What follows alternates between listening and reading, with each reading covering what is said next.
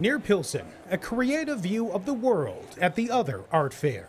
120 artists picked from more than 1,000 applicants. Each artist takes a booth and they're free to hang, curate, and price their work as they like.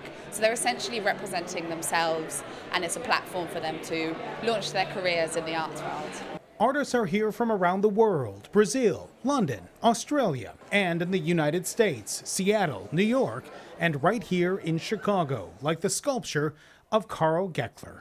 So you're an architect by trade. Uh, that's correct. I, am a licensed architect and have practiced architecture for 30 years here in Chicago.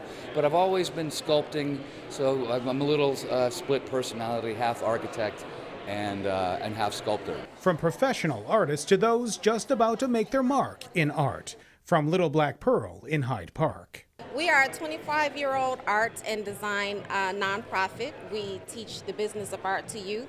We also have a high school Little Black Pearl Art and Design Academy. So these are all teenage artists, and your theme this year was underwater.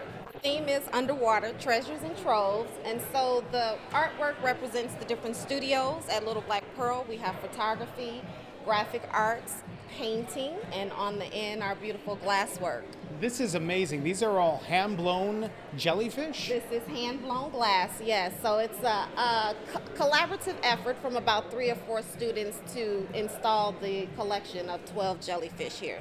This is the second year for the other art fair in Chicago. Two others are in Brooklyn and Los Angeles, along with the London and Australia shows, with plans on coming back to the Windy City next year as these emerging artists create, inspire, and share their view of the world. Sean Lewis, WGN News.